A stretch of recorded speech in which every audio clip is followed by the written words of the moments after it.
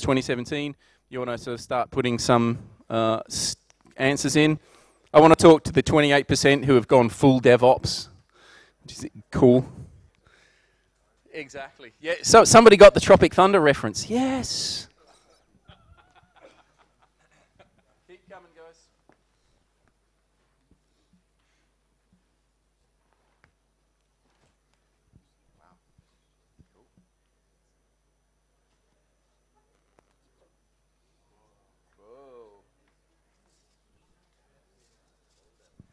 Are all the devs in the room feeling outnumbered now?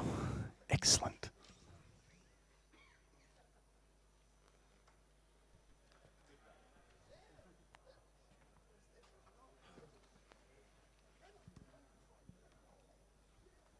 You can keep talking amongst yourself for the next three minutes, okay? You don't have to be super quiet.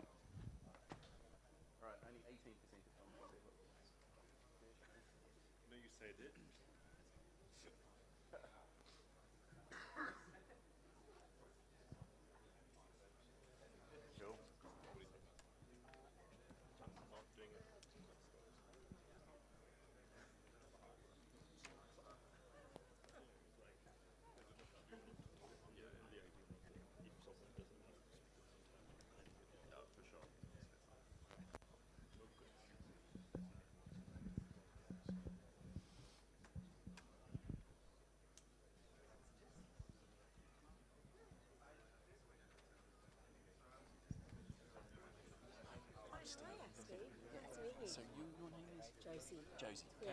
You'll, I will point you out.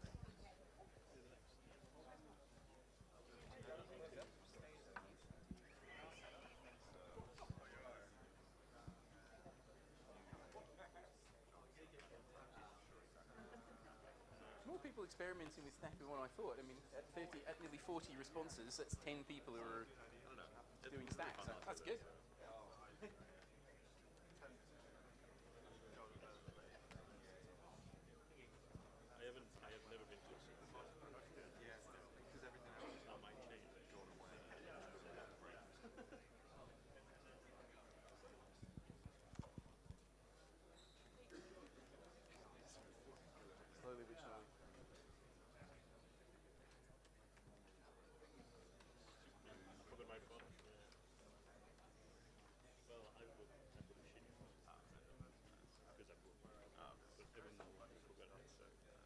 There's still some seats up the front here, guys. Don't be afraid.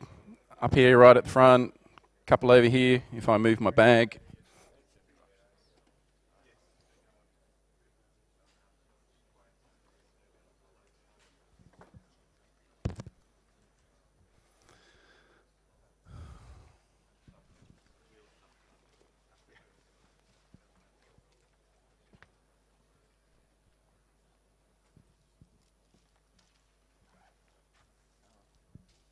Dev is making a comeback. No, Ops is edging ahead.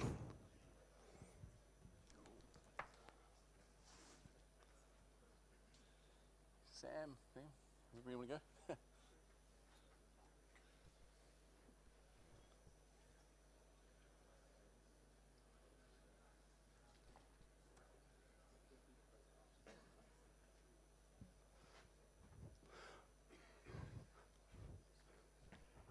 Just get the last couple of people in.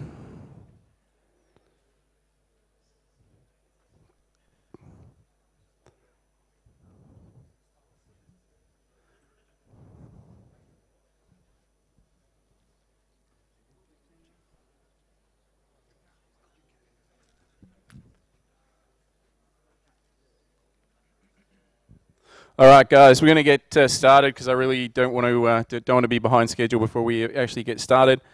So, uh, first of all, welcome everybody to WinOps 2017. Uh, my name's Steve Thair. I'm one of the co-organisers and co-founder of DevOps Guys.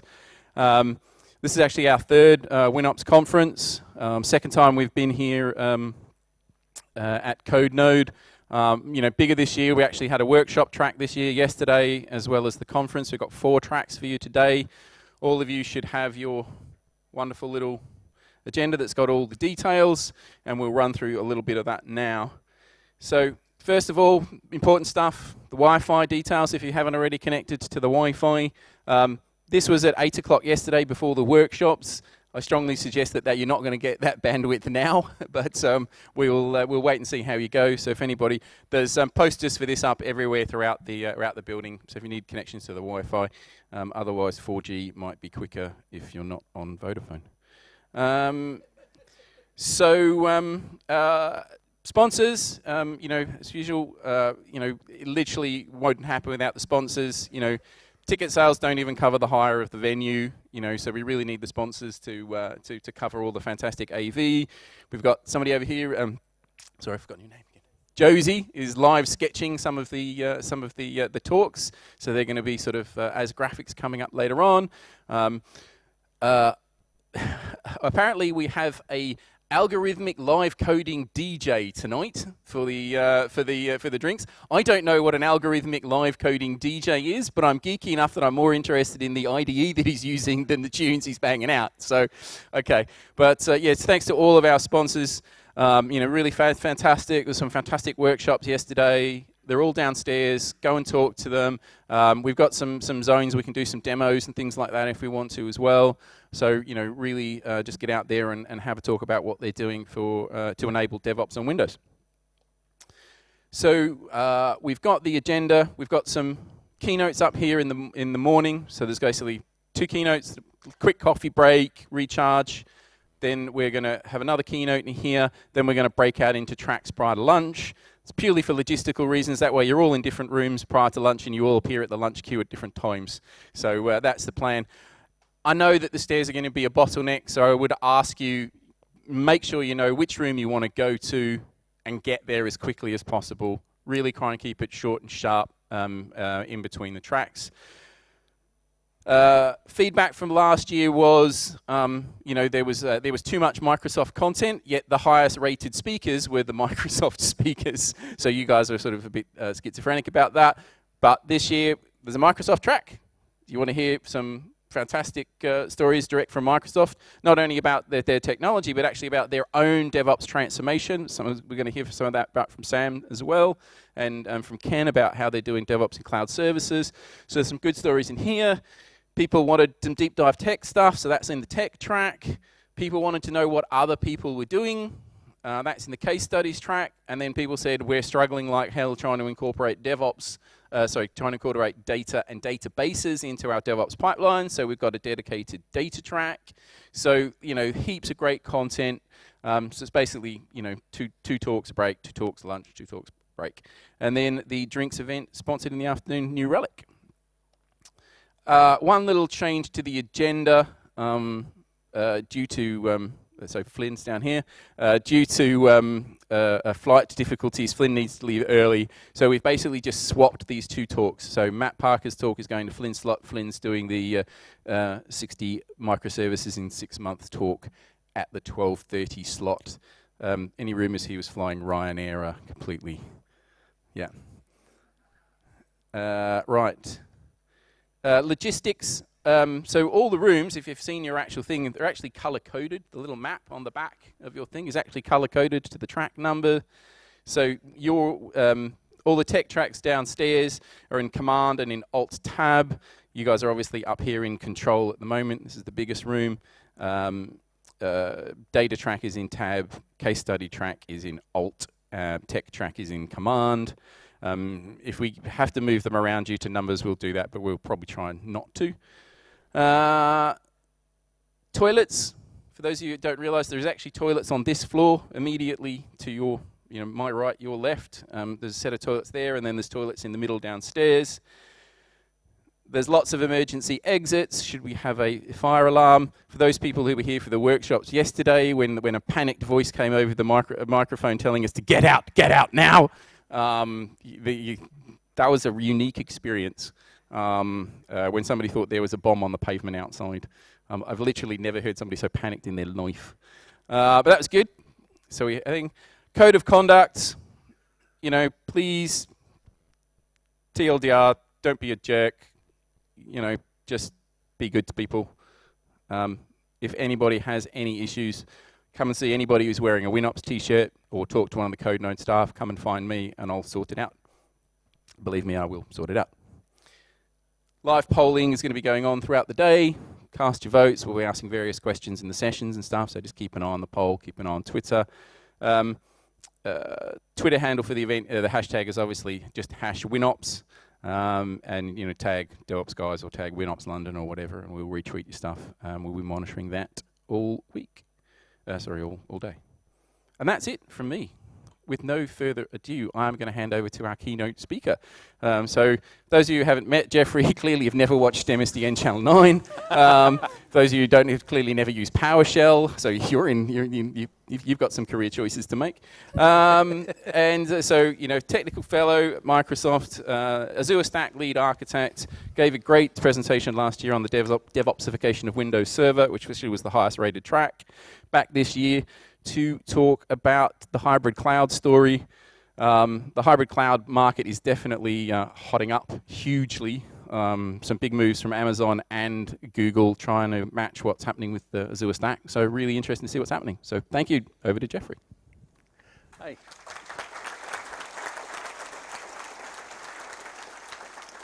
Uh, it's great to be back in London. Have we got a microphone on? There we go. Great. It's great to be back in London at WinOps. This is one of my favorite uh, conferences.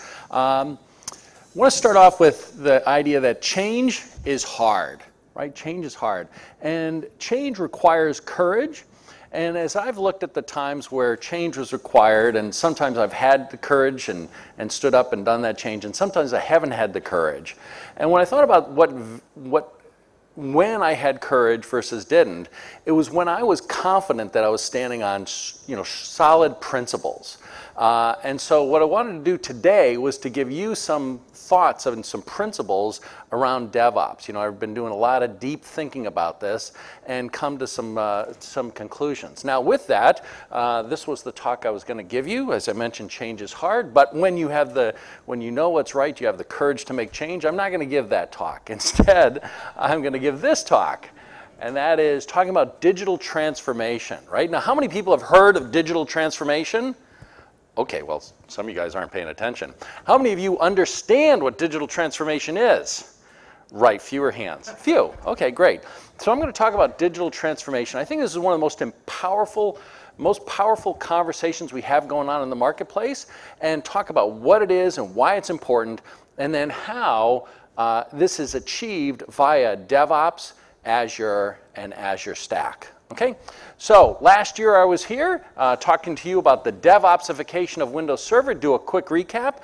Uh, DevOps, as you know, is all about culture and processes, uh, and it is not about devs and tools. Uh, however, as I pointed out last year, uh, this was wrong. Okay, uh, in fact, tools and technology play a critical role in making this possible. So, Tools and technologies can make DevOps easy or can make it hard. And what I talked about how was that Windows Server 2016, we really stepped back and we architected it to make DevOps easy. So here I am a year later, a little bit humbler. Uh, of course, DevOps is hard. We made it easier. So today what I want to talk to you about is how DevOps is about aligning people and processes and that how cloud platforms, and here I mean cloud platforms in general, uh, help enable and accelerate DevOps. And then, of course, Azure. Azure is one of the cloud platforms, and it is an awesome cloud. And that Azure Stack, the way to think about Azure Stack. Now, here, let me give you some background. A lot of people think they know what Azure Stack is, and they don't, right? They're projecting their hopes and dreams and ambitions into it. So, one of my goals is to be clear about what Azure Stack is and what it is not. Azure Stack extends Azure, so it is Azure, but it extends it to more customers and more scenarios. And we'll be clear about that. And then the, the bottom line for this talk is that DevOps, Azure, and Azure Stack align and accelerate people, processes, and platforms to deliver digital transformation. That's it. Like if you Walk away with nothing, this is the thing you want to do. In fact, I could end right now. That's the story. Okay? So let's talk about this, right? We know about the last 20 years, right? Last 20 years has been pretty clear. We had developers, they focused in on developing code, testing code, right? They would get business requirements and they translate those business requirements into code. They feel good, right? I got my code out. And then there's this wall, right? And they toss that stuff over the wall to operations. And it was operations' job to be able to take this, and they focused in on being able to deploy it, be able to make sure it's up and running, you know, uptime, break fix, uh, and they would focus in on the traditional operation responsibilities of reliability, compliance, and financial management. And of course, this wall, this clear wall is the, the problem, right? In fact, it's not a wall, it's a chasm of despair, okay? This is the source of lots of problems. So the next 20 years, I think, is pretty clear, right? The next 20 years really is about the merger of devs and operations into DevOps. And what we believe here is that merging these two things uh, allows better um, business results, okay? And so the idea here is that we'll have these nice tight loops of integrated uh, uh, teams working on gaining insights, gaining insights into what the customer needs, gaining insights into how things are running, and supporting operations and then taking those learnings and translating them into your backlog where you then go develop and build quickly, small batches. You want to test and stabilize those things, and you want to deploy and maintain them. Okay, and the point is that you have these loops, right, or continuous loops. In fact, uh, you know, Sam, hopefully you're going to talk about it today, has this wonderful Sam Guckenheimer. The marvelous Sam Guckenheimer uh, has a fantastic concept. Uh, he talks about how DevOps is really all about maximizing the rate of validated learning. Okay, so just remember that phrase. It's awesome, and the model is, is very strong. But that's what we're trying to do here, is to have nice small loops working together to drive business results. Now, I think it's always good, and back to that kind of theoretical foundation, it's always great to ask the five whys. Why, why, why? Why are we doing this stuff? And the answer is that digital transformation requires alignment, right? You can't achieve great results unless you're all know what you're trying to achieve and you're pulling in the same direction, right? So in, in, in order to deliver business innovation, you have to have your people, processes, and platforms. A lot of people ignore the platforms part, and that's wrong. You got to include the platforms. Why? Because technology can make DevOps easy or it can make DevOps hard. So if you ignore, ignore the platform part, you're setting yourself up for failure. Okay, so you need to align these things. And so how do you align them? And the answer is you align them through shared tools, shared insights, shared uh, uh, culture, and shared ownership. Okay? So, second why. Why are we doing that? And you've all heard of Moore's Law, yes? Hopefully. Okay? There's a second Moore's law in computing, right? The other Moore's law. And this is Geoffrey Moore.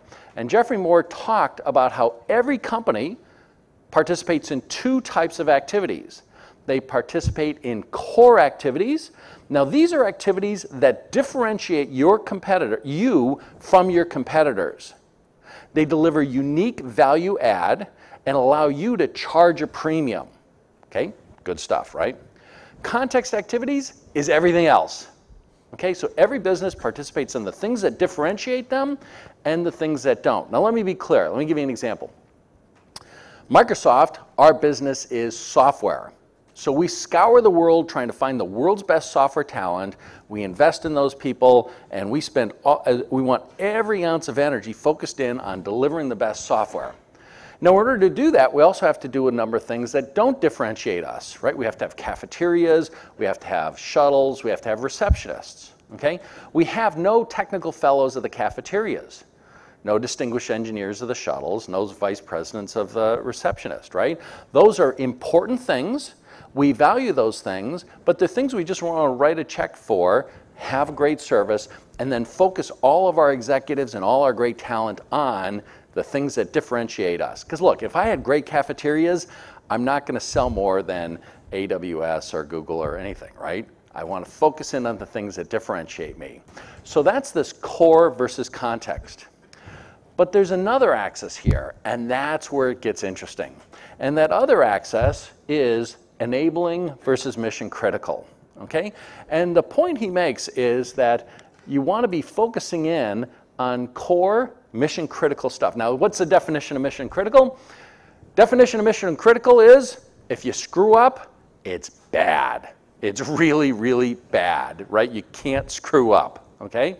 Now, the challenge here is that when you have one of these great things and you're differentiating you, against your competitors, the market will respond. And it'll take time, but the market will respond.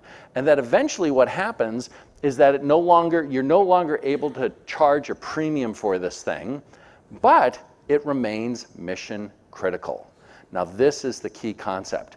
It is mission critical, but you're no longer able to charge a premium. You're no longer able to differentiate from your competitors. Okay? So, this is where you have risk. Okay? Real risk to the business. So, the strategy is you want to focus here and you want to de risk this space. Now, how do you de risk this space? The challenge is that because it's mission critical, right? Remember the definition of mission critical? Screw up, you're in big trouble. So you can't screw up. So because you can't screw up, people continue to invest in this area, and sometimes they, in fact, increase their investments. Because often the way you get here is by building technical debt, right? And so then it, you're like, oh, I got all this debt. You want to address that technical debt at a time you cannot charge a premium for it, okay? So the strategy, now Geoffrey Moore is very clear about this. He says, this area, people who mismanage this area, this is the killing field of once great companies. And he gives example after example after example of companies who found themselves in this quadrant, misspent their resources, and died. Okay, this is a company killer.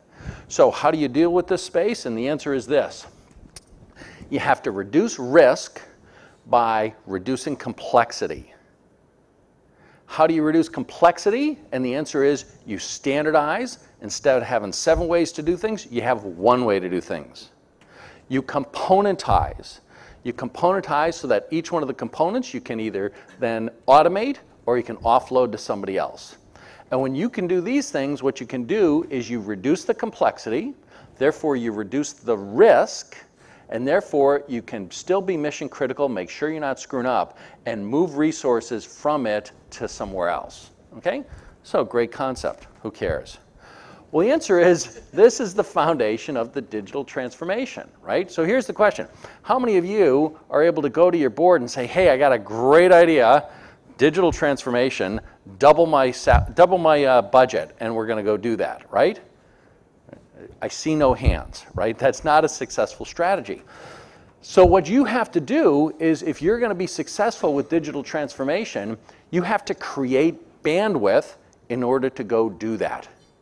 And the question is, how do you create bandwidth? Well, I assert that Geoffrey Moore's framework is the, is the framework for understanding how you can generate bandwidth to go pursue digital transformation and why digital transformation is so important. So, step number one, most important thing, you want to focus all your energy on building the things that differentiate you, right? So, here's the basic model buy or build? Simple question. You want to build the things that differentiate you, you want to buy the things that don't. Simple as that. Build, buy. Build the things that differentiate you. What differentiates you? Differentiated applications, right? I love DevOps, but I got to tell you, I don't think DevOps is quite got the right focus. In my mind, uh, DevOps is critical, but it's really about digital transformation. And I'll know that, and by the way, when you pull on the thread of digital transformation, you get DevOps. But there's more when you pull on the thread of digital transformation. In particular, I'll be happy when I go to a DevOps conference and I see some talks about how to listen to customers well how to know when the customer is telling you the truth and when they're not telling you the truth, or they're not telling you a true need versus a real need, how to respond to customers, how to set up surveys, etc. So that's what it's all about, right? You want to listen to customers, you want to gain insight from that, and then you want to act upon it. And when you act upon it, you act upon it using DevOps. Okay? So you want to focus in on listening to customers and building differentiated applications. Next, you want to buy everything else. You want to buy what does not differentiate you. And so these are things like commodity workloads and infrastructure, right? Anybody here believe that you can sell more airplane seats or sell more sneakers by managing DNS better than your competitors or IP or provisioning a server? Like, oh man, I can provision a server better than they can. I'm going to put more people in an airplane seat? Like, no, no. That stuff does not differentiate you from your competitors. Having an application that says, hey, I see you're logging in, uh, you know, you're, you're flying with us in a couple days, would you like to order a special meal? Would you like to have your bags delivered, et cetera? That's differentiated value. That all just happened to me on this trip, so I know about that. and third, as part of this digital transformation strategy, is you want to solve that dilemma that it's mission critical, I can't screw up, but I can't charge differentiated value by using the cloud. The cloud allows you to just buy the things that don't differentiate you and focus in on stuff that does, building the DevOps muscle, building uh, great differentiated applications, right? So you reduce the risk by reducing complexity, you standardize on one set of tools, you use those tools, become expert in those tools, you leverage automations, and you outsource. Hey, I'm gonna let the cloud manage this for me. I'm not going to do that myself. Now, how do you do that, right? How do you generate this bandwidth so you can perform, do this work? So the old IT, you had a bunch of physical servers. This ran on premises. Okay, you virtualized it. In reality, virtualization was kind of about consolidation, gave a little bit of agility to some people, other people not so much. Um, and this is now translating to hybrid cloud. Now, in the past, we used to say the cloud, and by the cloud we meant public cloud. Uh, we no longer believe that. We believe that, and we, when we talked about the hybrid cloud, we would talk about it as a stepping stone to an all public cloud. We no longer believe that. And listening to customers and, and, and drilling in on this, we believe that the hybrid cloud is the steady state model. Uh, and obviously, this is the case because our competitors are, are going through uh, all sorts of uh, ab absurd uh, things to try and copy and hybrid cloud wash their stuff, right? When it's in fact not hybrid cloud at all. Um, so this is this is the thing that customers really want is this hybrid cloud. Now, what is a hybrid cloud? And the answer is it's the cloud model. But the cloud model, some of it's running in the public cloud, and some of it's running on premises using private clouds. Okay? So, how do we do this? Step number one Gren, how do you create bandwidth? Step number one, for commodity workloads, right, the things that don't differentiate you, does anybody think running your own exchange servers helps you sell more sneakers? If so, love to talk to you about that, understand that, because I don't believe that's true. So for those commodity workloads, things like Dynamics, Exchange, uh, VSTS, just write a check and use those as software as a service, okay? Number two, for the on-premises stuff, you know, just leave it alone. Just lift and shift it, put it in a, in a virtualization environment, maybe upgrade the OS. Uh, but here, then you want to focus in on taking workloads and just lift and shifting them and running in the public cloud. Just by doing that, guess what? You create bandwidth. Because in the public cloud, so many things are given for you you'll see, you know, you'll be able to just say, hey, um, this, this, you have these VMs in the, in the cloud, they're out of date. Would you like to update them? Would you like to patch them? Would you like to secure them? And these are all very easy native cloud functions that in the past you had to go invest in, you know, I've got to buy a management product. Those management products cost million plus dollars. So you got to do a request for you know a, a, an evaluation and test it out, and then you have to have an organization, and somebody's got to run it, and you got to care and feed it, right? You ever heard the joke about the admin, right? The admin has a problem, so he writes a Perl script, then he has two problems, well, right? So often these management products were like that. You had a problem, so you bought a management product, and then you had two problems, right? Because you got to maintain. How many people are running all of your management products on the latest version of those products, right? No, no, because guess what? You know, maintaining the management products themselves is a task and it's hard, right? I used to go to the uh, Microsoft Management Summit, and my joke was that you know about a third of those talks were all about the care and feeding of the beast, right? Getting SMS up and running or SCCM up and running, right? You know, approach it gently, you know, speak softly, no sudden movements. Uh, it's just insane how much energy went into the care maintenance of your management products by lifting and shifting your workloads to the cloud, you just say enable something, you get that management for free, it's always up to date, et cetera. So you get a lot of great bandwidth freed up just by lifting and shifting. Now, with some of that bandwidth, what you're going to do is you're going to lift and modernize, right? Hey, I'm going to take that stuff, maybe put it in a container, maybe leverage some cloud services and automate things, right? Automation is critical, even for the things you're not going to say, oh, I'm going to modernize, et cetera. If you can automate it, you can free up bandwidth so that you can do other things, okay? So you lift and shift or you lift and modernize. And these things create bandwidth so that then you can focus in on cloud-born digital transformation, right? Now you can run that in Azure PaaS or you can run that on Azure Stack. Either one runs fine. The net, what we're trying to achieve here is a shift in focus for your IT spend, right? Right now, lots of studies for a long time that showed about eh, you know 80 plus percent of the IT budget is and, and focus is spent just keeping the lights on. And what we want to do, and that's all context stuff. Again, stuff you cannot differentiate, things you can't compete with. 80% of your budget on stuff you can't compete with, that's not such a good thing. Well, imagine you could turn that to 80% of your budget where you can compete, okay? Now imagine that you don't do that, but your competitors do, right? That's gonna be a bad situation, right? So you wanna be the one doing this before your competitors do. And the point, oh, by the way, and the point is that that's all great, but it's really possible. We've been talking about this for a long time, but it really is possible leveraging DevOps, Azure, and Azure Stack. Okay, so again, what you do, the way you, you make that shift is you buy infrastructure in SaaS and you automate. That creates bandwidth. With that bandwidth, you invest in innovation, and that's how you make this transformation. So Azure, you all know about Azure. The heart of it is fantastic cloud, modern development platform, right? Great cloud services, great features, great PaaS. Uh, these things are run for you, right? You don't have to run them. These things are secured for you. You don't have to secure them, okay? And leveraging them allows you to focus in on the stuff that differentiates you, not just commodity stuff.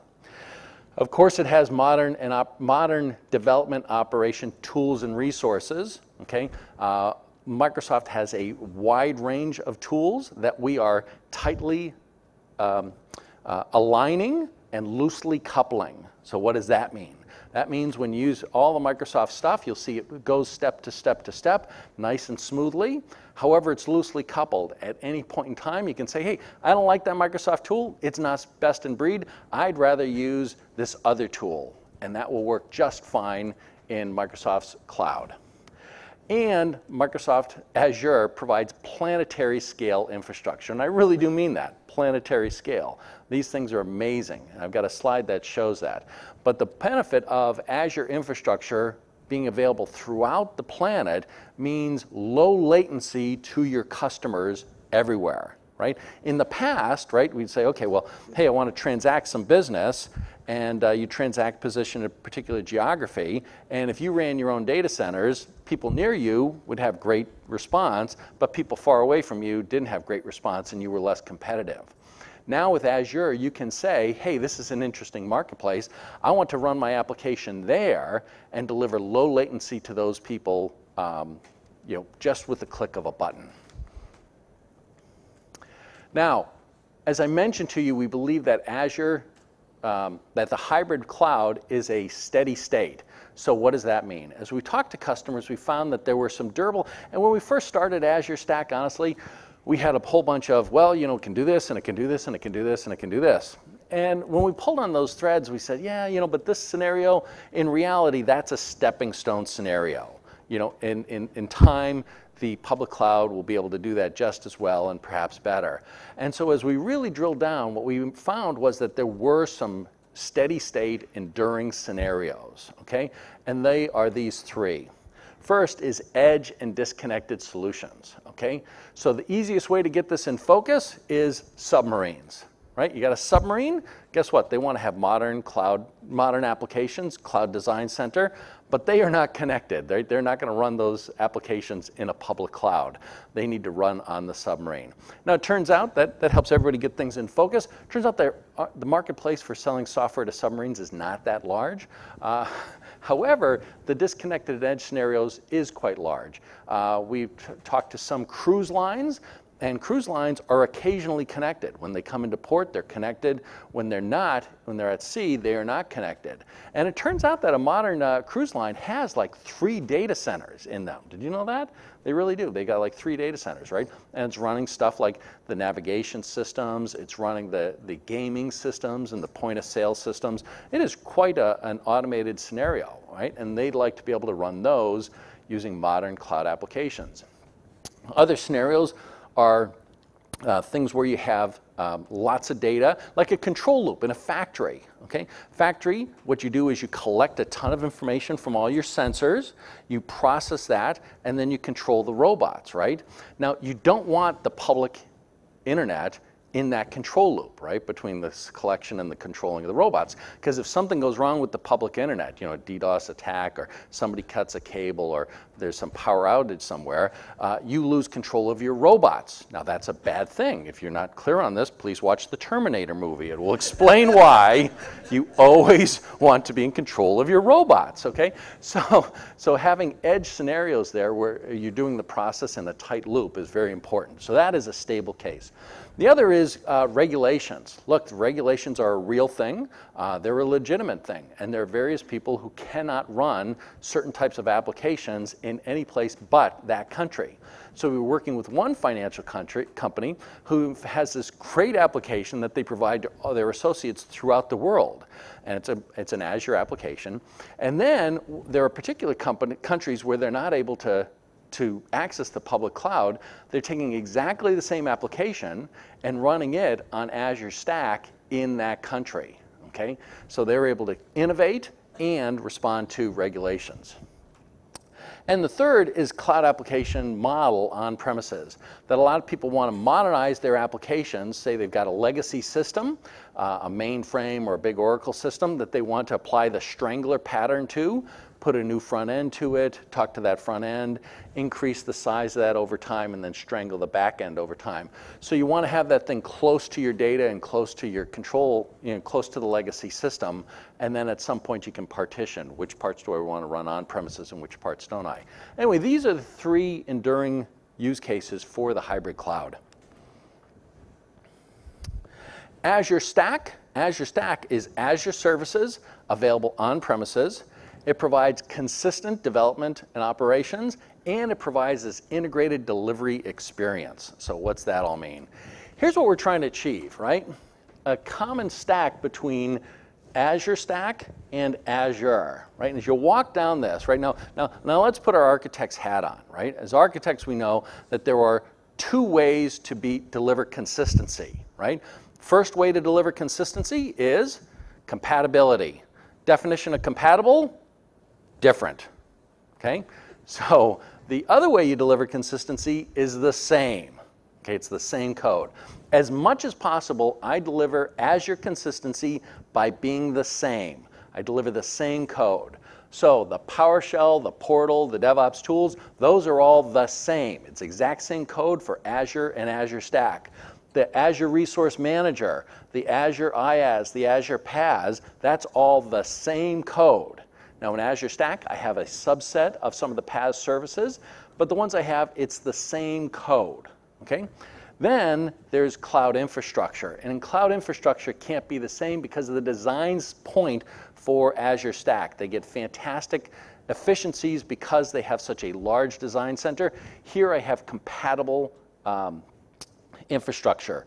Azure has a sealed set of hosts that they design the hardware and they seal that host and everything runs on top of that. Here, I worked with uh, a, a, set of hardware manufacturers. We co-designed these systems and these are also sealed systems. I mentioned to you Azure services everywhere. Here is the point, planetary scale infrastructure. Azure has 42 regions throughout the globe. Azure Stack now takes those services and APIs and tooling and is going to make them available through hundreds of service providers and through thousands of enterprises. Okay? And what this does is it builds a fantastic Azure ecosystem. Okay? And what that means is that if you're developing a solution, you now get a maximal addressable market. You build that thing, you can sell it everywhere. Lots of different instances. Some people want to run in the public cloud, but they needed to have great latency in Africa. Got a great solution for you. Uh, hey, they want to be able to do this, uh, but they can't let the data go out of this country. Great, you can run it on Azure Stack. So your solutions can run the maximal number of places. Number two, as customers, you get the maximal number of solutions, right, for, this, for the inverse reasons. And then as employees, as individuals and employers, we all benefit, right? Because a lot of people have stubbed their toes on these bespoke public or private clouds, their own private cloud. Oh, I got my own thing. And then they try and hire. And one, nobody has the you know uh, Acme private cloud expertise on their on their resume, so you can't hire those people. And then two, if you've developed that expertise for having worked for Acme Company for the last five years, and you put that on your resume, oh, I'm an expert in Acme Cloud infrastructure, nobody's going to hire you, right? It means nothing. You, do, you don't help them. But when you're able to put Azure, uh, your Azure skill and tooling on your resume, guess what? You're going to knock on 10 doors and a lot of them are going to open. As an employer, you're able to say, hey, I'd like to have somebody who knows Azure skills, and you're going to be able to hire from a people, a group of people that can come on board and be productive on day one versus having to figure out how to get things working. Now, the point here is that it's so important I made it twice, is that, uh, is that for this to work, the, the, it requires, for the ecosystem to work properly, it requires version consistency, okay? Version consistency. What that means is we can't have uh, uh, Azure Stack be multiple versions down level from Azure. If so, then when you write an application, it'll work in some places but not the other. No, no, no. So we have to keep version consistent. Now, what that means is that Azure Stack has to control the version and has to keep up to date. Okay? So, for instance, in patching and updating, as a customer, you will have the choice of when to update, but not if. Okay, so patches come, you must be up to date, uh, and you'll uh, be able to defer that for up to three months, but then you'll have to be up to date. And why? It's to make sure that the ecosystem is consistent. So the real key point here is Azure Stack is new, and uh, you don't want to project your past into it. Okay, and this is what I see a lot happening. So, so an example, I originally learned Fortran okay? And then C came out. And I said, oh, that's great. And so I started writing C programs, but in fact, they were Fortran programs using the C compiler, right? And then it took me some number of months before I started writing C programs. And then at some point, the C++ compiler came out. And guess what? I wrote C programs using the C++ compiler for the first six months. It always takes a while for you to like, uh, you know, you project your past into the new set of tooling, and what I'm saying is, hey, you want to not do that here. You want to stop, understand what it is, and then accept it or reject it based upon what it is, not what you hope it to be. So, this is made worse by this cloud washing, okay? So this Matt here tweeted out, he says, hey, I'm at the Oracle campus for a media event. I guess you could say I'm on premises. To which Frank Shaw replied, actually the way Oracle defines it, you're in the cloud, okay? So, right, the cloud and the hybrid cloud are very hot. And people, what people are doing is they're just taking the stuff that they have to sell on the, on the shelf and they try and sell it to you. And you come back and you say, I'm not buying that. My directors don't want to buy anything that's not related to the cloud. And you're like, it's cloud related. Here, let me put a sticker on it. Now it's hybrid cloud. And literally, that's what you're seeing with some of these, uh, these things. So that, that doesn't help. Let me be clear Azure Stack is not putting a sticker on top of some old stuff. It is a hybrid cloud. And so when be clear about what it is and what it isn't. You might just want the old stuff with the cloud name on it, but that's not what this is. So what is Azure Stack? Azure Stack is the first product in a new category, this hybrid cloud platform. It is not a virtualization replacement, right? We have virtualization. If you just want to run VMs, we got System Center, we got Windows Server. You can take that, put it on any hardware you want, put any management software on there, control it all, manage the details, what's the queue length of the NIC and blah, blah, blah. You can do all that stuff.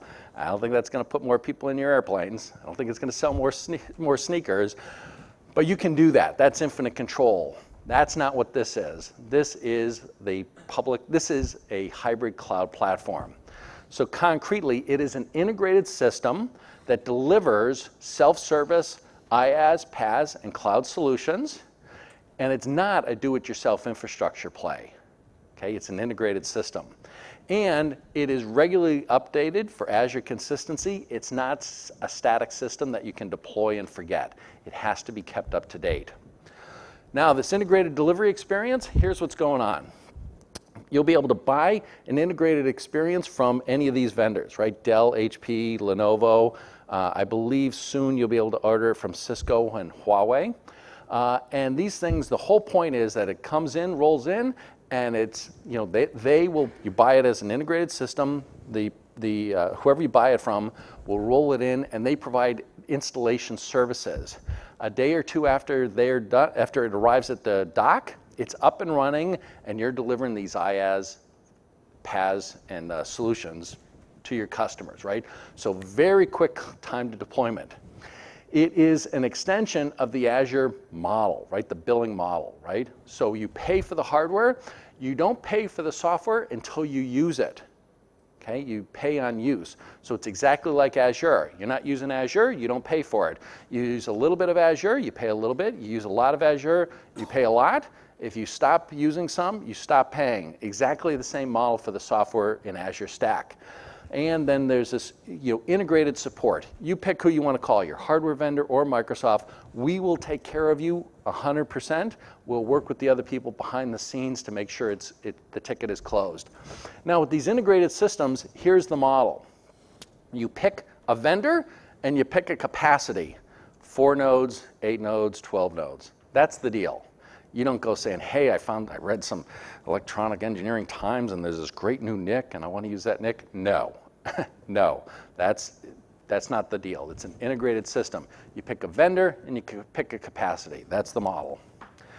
Again, Dell, HP, Lenovo, here are the systems. And why are we doing this, right? And really there are two answers. Answer number one is that integrated systems again, allow, create bandwidth that allow you to focus in on differentiation, right? We just think it's the wrong thing for you to, uh, okay, here's the thing. How many people have tried to set up a private cloud? Okay. How many of you were successful within one quarter? Two quarters? Ever? okay.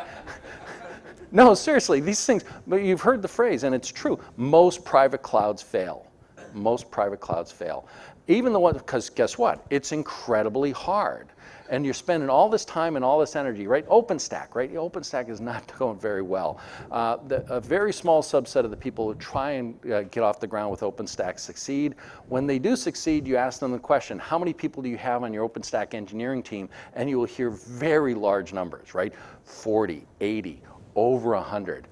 And at some point, you know, the Turks have this great phrase. They say, when you're on the wrong road, turn around no matter how much progress you thought you made. Okay? And so these people at some point they're like they're just trying to like, you know, sell airplanes or sell sneakers and they got 100 engineers standing up an OpenStack private cloud. Like what sense does that make? How does that help you sell more sneakers? Anyway, so a lot of people are just but most of them are failing because this this is really hard stuff. So what we do is it comes in and it just works. Guess what? That's 100 engineers. You don't have messing around. That's 100 engineers that you can focus in on DevOps to build differentiated applications. That's the point. Second is we don't we believe you shouldn't have to do DevOps to create the platform in order to do DevOps on. Okay? Okay, so this integrated life cycle, again, you're going to see how Azure Stack creates bandwidth for you. Why? Because I'm taking responsibility for the entire life cycle, right? It's not just the fact that you purchase this thing, it's a simple purchase decision for a 12 systems. Somebody comes in, they get it deployed with you, and uh, you're up and running within a couple days using it, right? That's this, right? I did the hardware integration, the architecting with the vendors. It's going to be deployed. We have validation. Then we're going to do the monitoring and diagnostics. We're, we've got all the um, workflows for the FRUs, field replacement units, for the patching and the updating, uh, the business continuity, and the security. Azure Stack has fantastic security. Love to talk to you about it. It's just crazy good. We do all this for you. So this is all stuff you don't have to do so you can focus in on applications. So to recap, that's sort of the story, right? There we are, right? Azure Stack is the first hybrid cloud platform. It's not virtualization.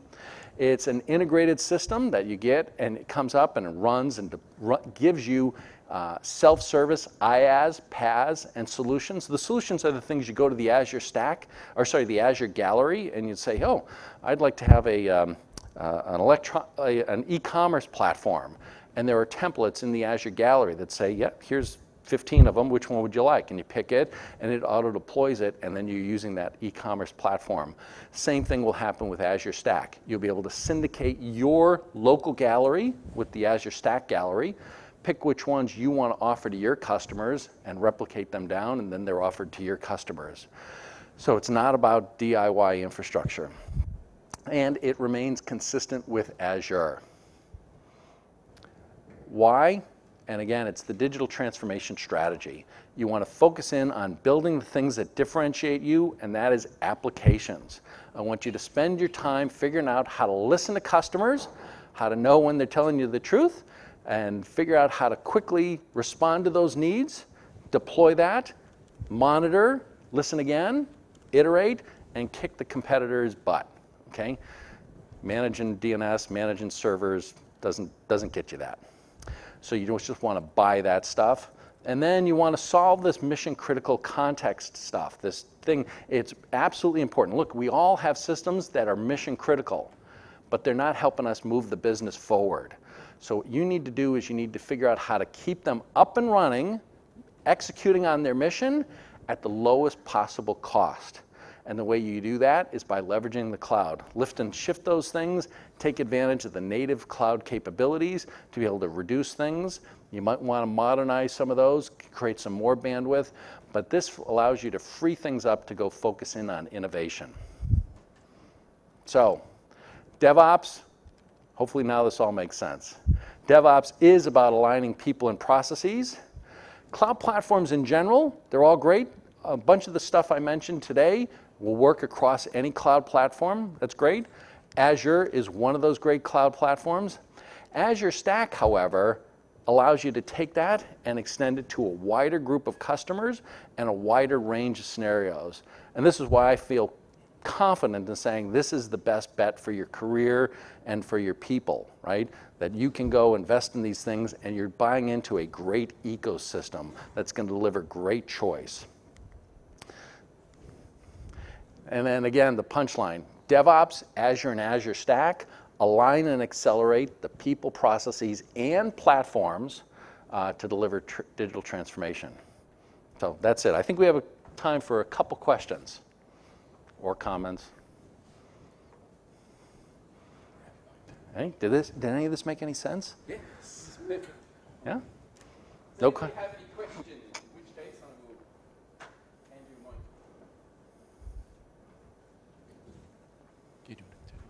Questions, anyone? No one?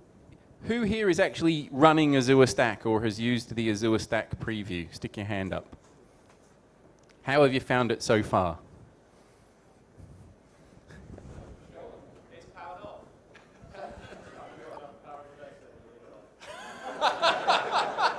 What was that? I, I, I can do you a good deal on Colo. We're using it because we've been reviewing it at Chef, and uh, Stuart Preston has been working on getting some of the um, extensions onto it. I haven't had any. Um, I haven't had any access to it myself, but I know that the team are putting it together, and we've been getting it to the, the our ARM templates extensions work with it. That's where we're using it at the moment. Any questions about digital transform, transformation or anything else? All right. No? Sounds great. Well, Okay. thank you for your time. Thank you very much, Jeffrey.